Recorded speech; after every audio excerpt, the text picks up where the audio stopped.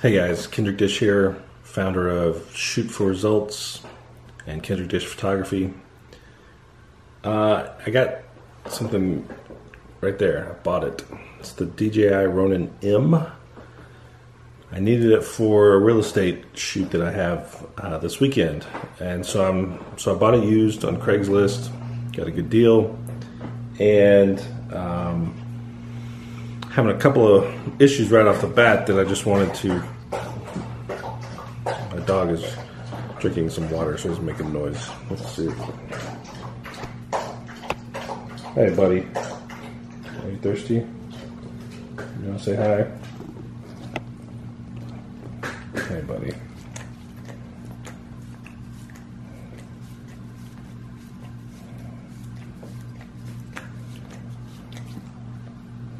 Okay. So I'm having a couple of issues right off, right away, and I just wanted to uh, you know, talk about it for just a second. Um, one of the main ones. So I mean, after you know, I've been messing with this thing for close to two hours now, and uh, keep making progress. But uh, I'm uh, for testing purposes. This isn't what I'm going to shoot the real estate video with. This is a 70D with a 24 to 70. Um, but this is the camera I have handy to test with.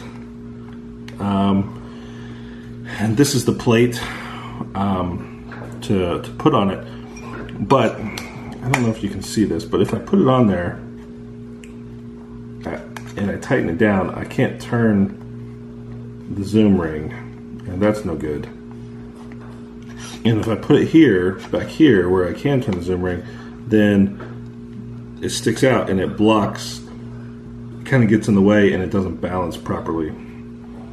So what I need, and I don't have, is some sort of riser plate so I can separate this a little bit. Um, or a lot, you know, if I had a, just a, a, a like a, could do a, a nut or something, I had a longer screw. But I guess partly because I'm using a 70D, the 24 to 70 is such a large lens.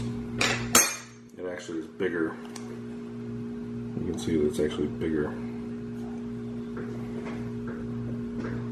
If the camera can focus on it.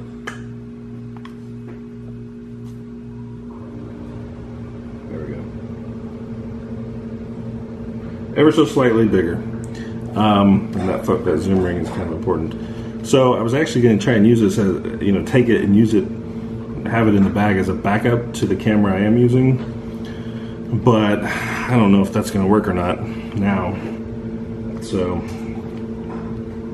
anyway, that's problem number one. Um, problem number two that I kind of solved was since I bought it used, um, there was a password, a Bluetooth password to connect the app to the device, which you need.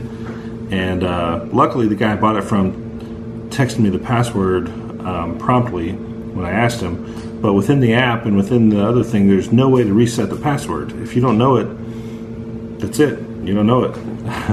and uh, actually, I think I saw one thing online that said maybe it kind of works if you have a PC and you run the, the DJI software on the PC, that maybe that would work. But I don't have a PC, and that's a stupid solution anyway. So luckily I got his password and I'm just going to use that. Um, but beyond that, the uh, I've got the uh, got the remote charging right here. I've got the app on my phone, um, and I've got the uh, the Ronin that I'm about ready to. You know, I'm going to keep using it, so I've got to test it out. Um, I've got the backup battery on the charger right here.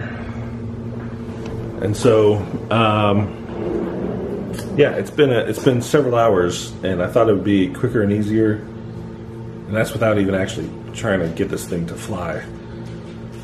But that's why we that's why we prep. Uh, hopefully, I've got time tomorrow to make it all work. Um, so anyway, just wanted to jump in here. I'll keep updating with the status of this Ronin thing um, for you guys.